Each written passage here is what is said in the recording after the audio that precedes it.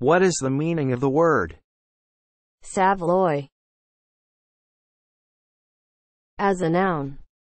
A ready cooked and highly seasoned pork sausage. Saveloy is spelled S A V E L O Y. Saveloy.